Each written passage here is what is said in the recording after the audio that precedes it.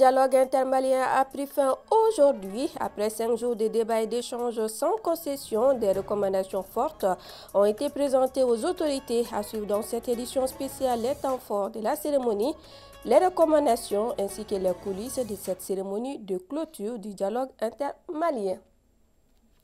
Tout d'abord, toutes nos excuses pour ce retard dû à l'abondance de l'actualité. Mesdames et messieurs, bonsoir et bienvenue dans cette édition spéciale. Je vous le disais tout de suite, fin aujourd'hui du dialogue intermalien phase nationale ce vendredi au CICB. Durant cinq jours, les participants ont débattu et échangé entre Maliens pour trouver des solutions efficientes aux problèmes qui assaillent le Mali. Le rapport de synthèse de cette étape nationale a été lu durant la cérémonie de clôture qui était présidée par le président de la transition. Les temps forts de la cérémonie avec Mariam Sissoko. Fermeture des rideaux sur le dialogue intermalien qui aura réuni le Mali entier autour d'une même table.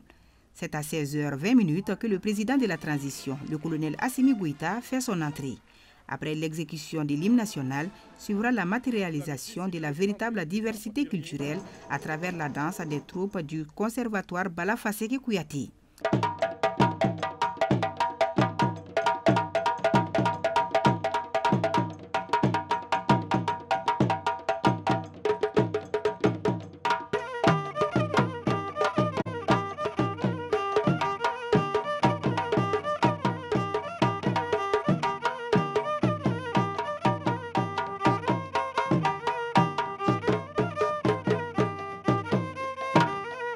Des travaux qui s'achèvent sur une lueur d'espoir, celle de bâtir un nouveau Mali.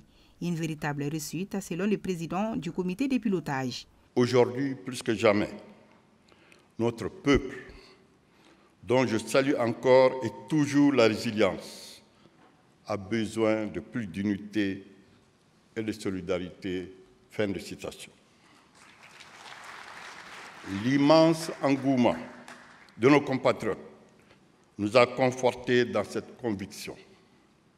Pendant ces trois mois, nous avons parlé entre Maliens et nous avons tenté, avec tous les moyens mis à notre disposition, d'inviter tout le monde à participer à ce rendez-vous citoyen. Durant cinq jours, les Maliens se sont parlé sans langue de bois dans le but d'aboutir à une paix et une réconciliation définitive. Le dialogue intermalien pour la paix et la réconciliation nationale vient d'achever sa phase ultime. À cette heureuse occasion, je voudrais avant tout propos rendre grâce à Allah le Tout-Puissant de nous avoir aidés à conduire le train de la fraternité et de l'unité nationale à bon port.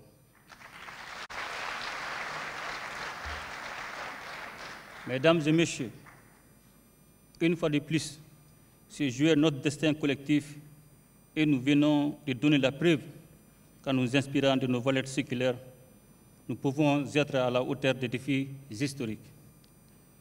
Le mérite revient tout d'abord au peuple malien résilient qui a su se mobiliser en ayant une conscience claire des enjeux de l'ère.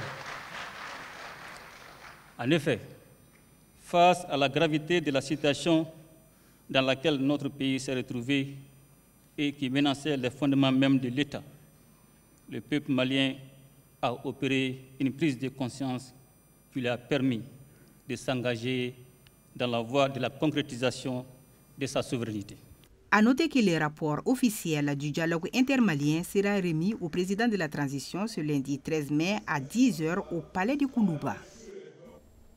Après cinq jours de débats et d'échanges sans concession, les Maliens ont décidé de prolonger la durée de la transition, de construire la nation mère avec des valeurs propres à nos réalités socio-culturelles, d'instaurer une journée du pardon ou encore de veiller à la bonne utilisation des réseaux sociaux. Globalement, les plus de 3000 Maliens mobilisés autour du président de la transition ont quitté le CICB avec la ferme conviction de dessiner ensemble une nouvelle architecture de la paix et de la réconciliation nationale. Cheikh Fatamadine Ndiaye, qui revient du CICB, nous donne un aperçu général des recommandations de ce dialogue. Les Maliens viennent de décider ensemble de construire brique par brique l'édifice d'une nation unifiée, résolument tournée vers la paix et la réconciliation. Grand arbitre de cet espace, le président du comité de pilotage se dit totalement satisfait. Je suis un homme comblé pour avoir lu toutes les recommandations qui sont venues du Mali profond, qui constituent les véritables préoccupations de nos concitoyens et que le chef de l'État s'est engagé à les faire exécuter. Donc je suis un homme comblé. Je, je, suis venu pour aider mes compatriotes afin que nous sortions de ces crises cycliques qui se répètent le temps. Le Mali s'est rassemblé, le Mali s'est pardonné, le Mali se mettra au travail, Inch'Allah. Les cinq jours d'échange et de débats directs ont été le lieu pour les participants d'adopter plusieurs résolutions parmi lesquelles la promotion de l'amour de la patrie et l'esprit du don de soi, l'enseignement de nos valeurs socioculturelles dans les écoles et médersa ou encore l'utilisation maîtrisée des réseaux sociaux.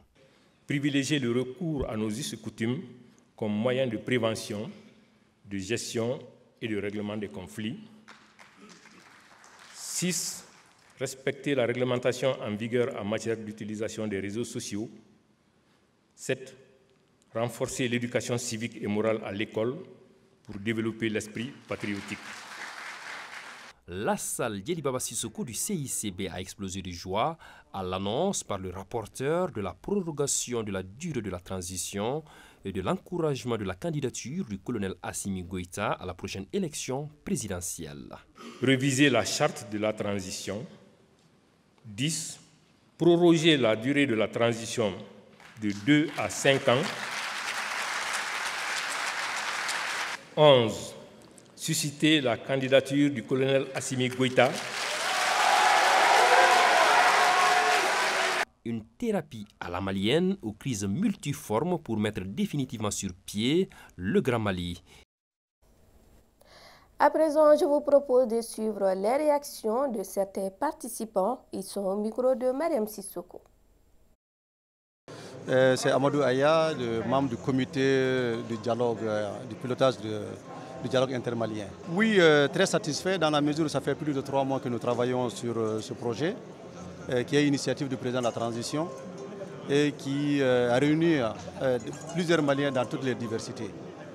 Euh, nous avons débattu de plusieurs thématiques qui a vu la participation des milliers et des milliers de Maliennes et de Maliens qui, de manière inclusive, ont travaillé. On dit ce qu'ils pensent de ce que le Mali sera de demain, les mots qui minent notre société et proposer des, solutions qui tous concourent vers la paix. Je suis le président de l'Alliance pour la Fondation du Mali, Arima. Comme tout dialogue euh, dont la thématique est la paix et la réconciliation, c'est de voir tout de suite euh, l'impact de ces dialogues sur le vécu des Maliens, sur la sécurité, sur l'économie, sur le développement, sur le bien-être des Maliens. Et ça, c'est vraiment ce que nous attendons. Et je crois euh, sincèrement que les Maliens, dans leur entièreté, ont travaillé depuis euh, des semaines pour que le Mali aujourd'hui puisse se poser sur des, piliers solides, des piliers solides et avec la volonté des Maliens et avec les solutions des Maliens. C'est M. Diallo Tchoukamadi, euh, délégué de la communauté malienne résidant en Mauritanie. Je peux dire que les attentes sont comblées, hein, sont comblées parce que ce que je disais l'autre jour, bon, rien que le fait euh, par le président de la République, M. Assimi Koïta, de se réapproprier du dialogue national, et de manière à demander aux Maliens de se parler entre eux, moi je dis déjà que vraiment on peut dire bravo. Bon, quand je vois maintenant le déroulement donc, de ces travaux-là, et donc en tout cas les recommandations qui ont été effectuées, j'en suis sûr que si, si, je dis bien, les enseignements étaient respectés, mises donc en application, c'est-à-dire les recommandations transformées en action, je suis sûr que le mari ira de l'avant. Eh, je m'appelle Assassila membre du comité de pilotage du dialogue intermalien pour la paix et la réconciliation nationale. Ben, mes attentes euh, ne sont pas nombreuses. C'est surtout euh, de faire en sorte que les résolutions qui vont être prises au cours de ce dialogue, que ces résolutions soient mises en œuvre. Nos attentes, c'est surtout que les Maliens mettent en œuvre les engagements qu'ils ont pris au cours de ces et ce communiqué, avant de refermer cette édition, c'est un communiqué du pôle national de lutte contre la cybercriminalité.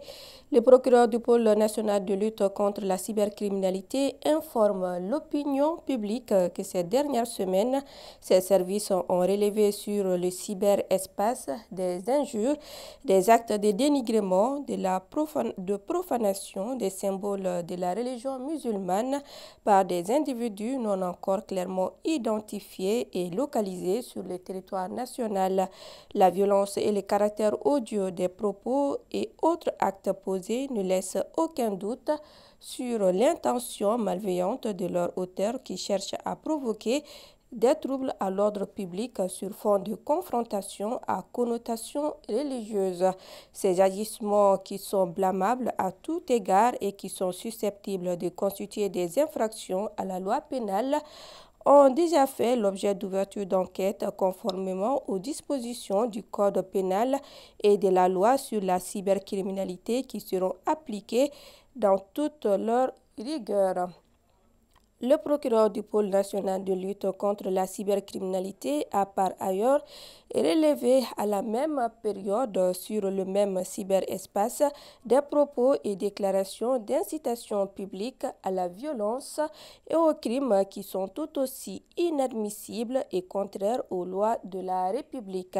Ces actes aussi ont fait l'objet d'ouverture d'enquête conformément la loi tout en rappelant qu'aucun agissement infractionnel ne sera toléré.